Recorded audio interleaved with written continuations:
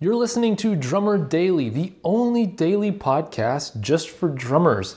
Hey, if you want to get better at playing with a click track, and who doesn't, go to boomclick.net slash start today. Hey there, welcome back again for another episode of Drummer Daily.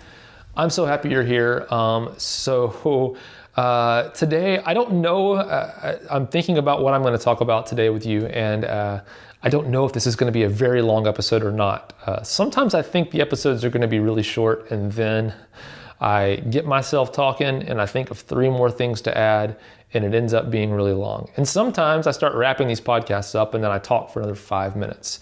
Um, I, am very well aware of that. Uh, maybe you've caught on to that. And maybe if you don't, uh, didn't catch on to that, uh, now you're going to start catching on to it. So maybe I shouldn't have brought it up. Anyway, so today might be a quick a quick hit, we'll call it. Uh, but it is this: I have uh, through my through my years. Um, you know, I was in I was in band for a long time when I was in high school, even in middle school. Actually, in elementary school, I was in band. So I started learning to read music pretty early on, um, and definitely, you know, in marching band and things in, in high school, definitely had to read music, read sheet music, um, and uh, I think uh, yeah, in college I was in the commercial music ensemble, which was an interesting thing. That's, that's kind of sounds like a Nashville thing, having a commercial music ensemble. It's like uh, basically it's like in, you go to school and you while you're it's like an elective kind of thing. You get to pretend to be in a pro band, which is kind of cool actually. It's a Nashville thing. Anyway, we did read some sheet music there as well, um, and so um, a lot of sheet music in my past. Uh, and so uh, there was a time, uh, I'm trying to think when it was. There was a time when I was touring, when I first started touring uh, full time.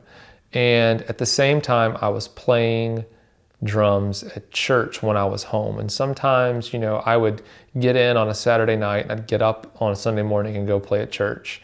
And so I had you know, no time, or I didn't make the time maybe to listen to any of the songs, um, and didn't know any of the songs until I got to church, you know, to play. And so um, that for me at the time necessitated that I'd start writing charts. And so I wrote my own kind of version of charts. So I would, I would. Uh, uh, I've seen other actually I've seen uh, recently a few other guys post pictures of their charts and that, it's actually very similar to what I did. Uh, it's kind of like a hybrid like it might be a couple of written out notes like eights on the high like verse one, eights on hi-hat closed and then I would like write the kick and snare patterns with music notes but just real freehand you know nothing really nice but I, I quickly see what it was and remind me of what it was. Um, and then other times I'd write out full patterns and for a while, that basically, you know, saved my bacon, so to speak. It kept me uh, from from completely messing up, you know, a Sunday morning and ruining it for everybody else. Um, well, then I took a break from touring and was home all the time. And I found myself, I'd listen to the songs, but I'd listen to the songs over and over again just to write the charts out. And then I'd get to church, uh, or sometimes it would be for it would be for gigs, and I would have all these charts and I'd have them over next to me, you know, on a music stand, and I would, um, I would, I would read the charts and things would be fine. But what I realized, long story short, is that over time I kept reading those charts even when I had work uh, i was spending all this time learning you know going through the songs and writing the charts. By the time i finished writing the charts i had memorized the song anyway. And but if i had the chart at a gig i would just stare at the chart the whole time. It's like you can't help it. If you have a safety net next to you you're going to use it. And i definitely did that. And so there came a time when i personally decided you know what?